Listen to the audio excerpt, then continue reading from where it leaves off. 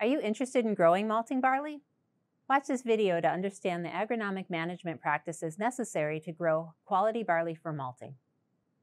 Hi, I'm Christy Borelli, an extension educator in agronomy at Penn State. In this video, I will cover Pennsylvania growing regions for both winter and spring types of malting barley, discuss seeding rates, seeding dates, crop rotation options, and relative yields. I will also offer a few suggestions for disease control and harvest. After viewing, you will have a better understanding of specific management requirements for malting barley in Pennsylvania. Like most small grain crops, malting barley varieties are available as both winter and spring types. The type you choose to grow is mainly determined by where you live. Let's look at the Pennsylvania map.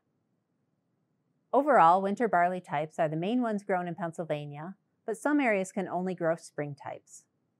Winter types are best adapted to the longer seasons in areas 2 and 3, the green and brown portions of the map, whereas spring types are best adapted to the shorter seasons associated with Area 1, or the purple portion. Interest is increasing for spring varieties, however, especially for farmers who missed the winter planting window for various reasons. But currently, less information is available about spring barley in Pennsylvania. You may find reference to spring malting barley from locations in the upper Midwest and northern regions of the Northeast where it's typically cooler.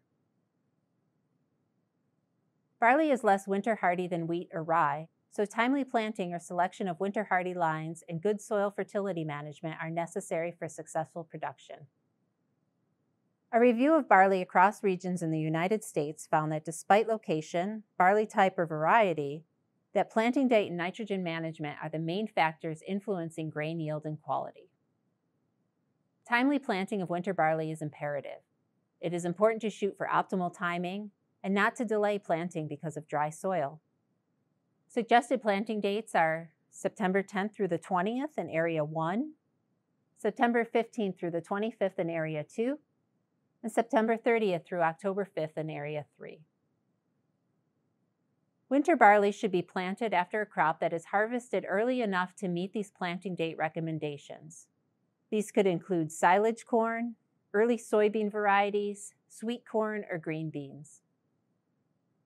Winter barley also offers options for diversifying crop rotations by double cropping with soybeans, sorghum Sudan grass, or cover crops.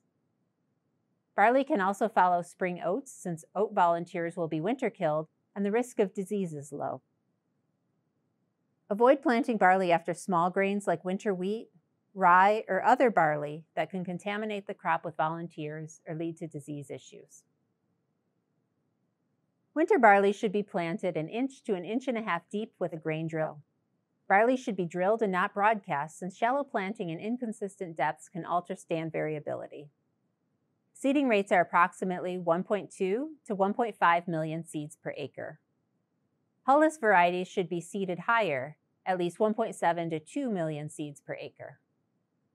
As far as yields, the best adapted varieties of winter malting barley yield at approximately 60 to 90 bushels per acre in Pennsylvania.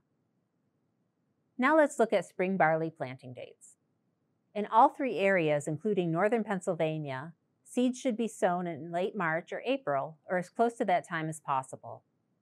Delayed planting can result in more insect and disease pressure and heat stress during grain fill.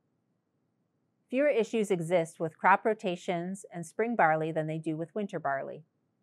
It is recommended to follow a low residue crop like soybeans.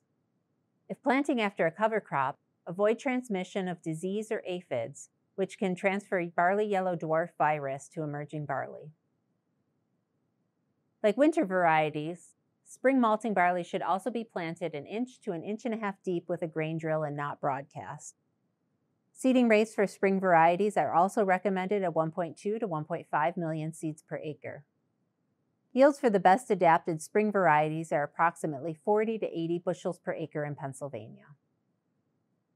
Regardless of barley variety or type, Fusarium head blight is a huge concern for barley farmers in the Northeast. Since disease-tolerant varieties are not available at this time, it is recommended to apply fungicides to control this disease. Fungicide application can greatly improve grain quality, as you can see in this field where fungicide was applied to one side but not the other. Fungicide must be applied prior to head emergence for best results.